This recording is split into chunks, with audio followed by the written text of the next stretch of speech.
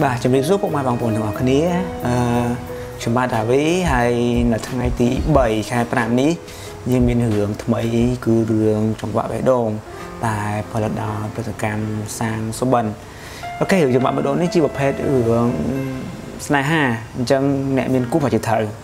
ណា okay អឺខ្ញុំអត់ទាន់ចង់និយាយច្រើនទេយើងទៅមើល trailer សិនណា okayយើងចេញដំបូងយើងឃើញស្រីស្អាតម្នាក់ តែដូចជារៀងមានសាច់តិចអូខេស្នេហាវាគ្មានពីយូរហើយនឹងបើចង្វាក់មួយវាចូលក្នុងសងវ៉ាអូបុកជាមួយនឹងនិស័យអញ្ចឹងទោះបីជាមួយប្រព្រឹត្តភ្នែកក៏អាចកើតជាស្នេហាបានដែរចុះបើដើរជាប់បន្លាបាយកែវតើធ្វើយ៉ាងម៉េចគិតពីខ្លួនឯងខ្លះផងមិនមែនជារឿងរបស់ប៉ាទេ បែកជើងឲ្យខ្ញុំគេបារម្ភខ្ញុំជាងប៉ាផងសំអឿនតើអ្នកបើកឡានថ្មីជាណាចង់ណាស់ក៏ណាស់ចង់មិនលើកទូរស័ព្ទក៏មិនលើករាល់ថ្ងៃនេះម៉ែកំពុងតែមើលងាយខ្ញុំតែគឺមិនអញ្ចឹងទេវិញអញ្ចឹងមិន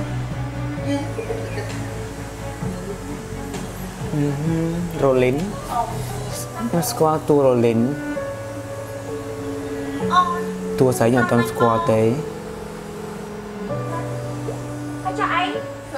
នាងខ្មៅនេះអត់ចុះស្រឡាញ់ទៅនេះវ៉ៃជឿទេបើស្លាញ់បាត់ហើយក៏ព្រមទៅជាមួយអូយចុះអូនជាលោកស្រីមកសុំបងរៀបការយ៉ាងម៉េចគួរតែបងជាមនុស្សប្រុសដែលសុំអូនរៀបការរៀបការជាមួយបងទេរលីនតែទីនេះ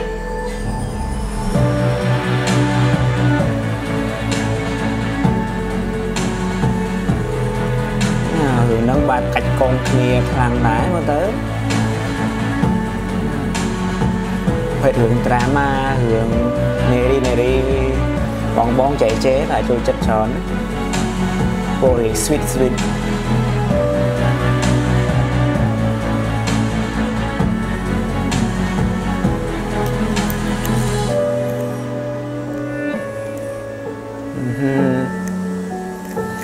រឿងចង្វាក់បេះដូងអូខេចាក់បញ្ចាំងថ្ងៃទី3ខែ5ឆ្នាំ2018គ្រប់គ្រងភាពយន្ត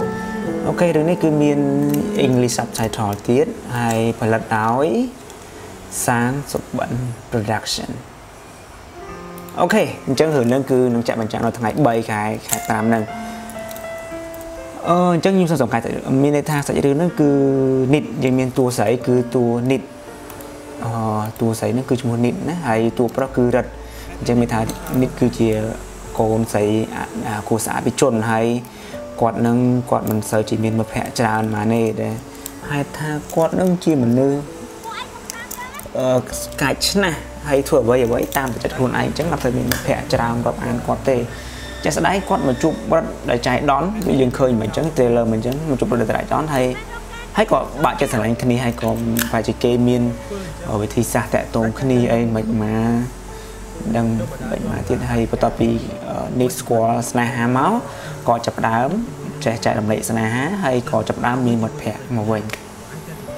okay អញ្ចឹងមកសាច់រឿងហ្នឹងគឺខ្ញុំស្គាល់តួមួយគត់គឺតួរ៉ូលីនខ្ញុំសុំទោសណាបើសិនជាខ្ញុំនិយាយប៉ះពាល់ដល់ចំណុចកន្លែងណាមួយ okay អញ្ចឹងអឺចំពោះរឿងនេះគឺយើងអ្វីដែលយើងចាប់អារម្មណ៍ដំបូងគេនោះគឺគុណភាពនៃការថតបន្តិចទៀតនេះខ្ញុំនិយាយអី ដែលវាប៉ះពាល់ទៅខាងបងប្រតិកម្មឬក៏ប៉ះពាល់ទៅខាងអ្នកផលិតគុំអ្នកផលិតខ្សែភាពយន្តនេះគឺខ្ញុំសុំទោសទុកជាមុនបាទអូខេអឺវាគ្រាន់តែជាការយល់ឃើញរបស់ខ្ញុំហើយក៏វិញដែលខ្ញុំធ្លាប់មើលឃើញអញ្ចឹងយើងឃើញថារឿងនេះគឺប្រហែលជាថតមកប្រហែលជាចំពោះការកែពណ៌កែពណ៌អញ្ចឹងមានន័យថាបើភាសាបច្ចេកទេសគេហៅថា គេ over ថាកែពណ៌ខ្លាំងពេកយើងមើលសាច់រឿងហ្នឹងគឺមានថាកែពណ៌ខ្លាំងពេករហូតដល់កន្លែងខ្លះគឺបាត់ highlight ហើយបើសិនជា shadow វិញគឺដាច់ដាច់បាត់តែម្ដងមានន័យថាហើយចំណែកពណ៌វិញគឺពណ៌ពីមួយឈុតទៅមួយឈុតគឺជួនកាលគឺអត់ស្មើគ្នាទៀតកន្លែង highlight គឺភាគច្រើនគឺឆេះច្រើនជាក់ស្ដែងដូចជានីតិទីវិនាទីទី45នេះគឺយើងឃើញថាពណ៌នេះគឺ បាត់ highlight បាត់អីអស់ហើយអូខេ shadow ក៏បាត់អស់ហើយដែរចំណែកអឺត្រង់កន្លែងវិនាទីទី59នេះគឺយើងអត់ដឹងថា Rolling និយាយអីទេអូផ្លាក់ដូរវាហាក់ដូចជាដូចជាអត់កន្លែងហ្នឹងគឺដូចជាសំឡេងមិនបានល្អដូចដូចមិនដឹងណាហឹមកន្លែងនេះគឺយើងឃើញដូចជាបាត់ហើយឡើងអស់ហើយហើយវាគេថាកែពណ៌ខ្លាំងពេកអូខេ វាក៏ហើយឡើងអូខេអញ្ចឹងរឿងដំបូងដែលយើងនិយាយដំបូងគេខ្ញុំអត់តនិយាយសាច់រឿងនេះខ្ញុំនិយាយរឿងគុណភាពនៃការថតផលិតសិនគឺផលិតនេះគឺមានថានៅមានកម្រិតនៅឡើយទេ គឺខ្ញុំឲ្យបន្ទុកអឺខ្ញុំមិនហ៊ានឲ្យបន្ទុកទេបាទប៉ុន្តែគ្រាន់តែនៅមានកម្រិតតែដូចគេនិយាយអញ្ចឹងថាសាច់រឿងមួយគឺអឺរឿងនឹងល្អមើលគឺល្អមើលហើយយើងមិនបាច់ចេះដល់រឿងគុណភាពសាច់រឿងទេ គុណភាពនៃការផលិតទេអញ្ចឹងណាអូខេរឿងនេះជាអឺយើងមើលវិញរឿងនេះគឺដឹកនាំដោយអឺអ៊ំច័ន្ទពូលីហើយដែលមានតួសម្ដែងដូចខៀវលីលីគីមណារ៉ានិងឈប់ច័ន្ទកកដាអូខេតោះឥឡូវអូខេនិយាយចំណុចចុងក្រោយគឺចំពោះការបោះឆ្នោតវិញគឺខ្ញុំសូមឲ្យរឿងនេះគឺខ្ញុំក្នុងបន្ទុក10 ខ្ញុំសូមឲ្យត្រឹម5បាទខ្ញុំសូមឲ្យត្រឹម5ឬក៏ត្រឹម4 4ប៉ុណ្ណឹងឯង4លើ10ណាokay អញ្ចឹងមានន័យថាយើងរឿងដំបូងដែលយើងអឺពិភាក្សាមើលមុនគេនោះគឺគុណភាពនៃការផលិតចំពោះប្លង់ថតចំពោះការប្រើពណ៌ចំពោះបច្ចេកទេសសម្លេងគឺនៅមានកម្រិតហើយចំពោះសាច់រឿងវិញវាជាប្រភេទរឿងអឺស្នេហាលាយកំ pl ែង អូខេហើយសាច់រឿងបន្តទៀតគឺខ្ញុំអត់ហ៊ាននិយាយទេខ្ញុំសូមនិយាយទៅរឿងគុណភាពសិន